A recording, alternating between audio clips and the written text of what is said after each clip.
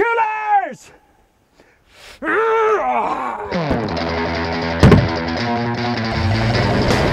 Don't worry, it's a Yeti. Yeti coolers are roto-molded. That's the same process that they use to make whitewater kayaks. And Yeti coolers are grizzly proof.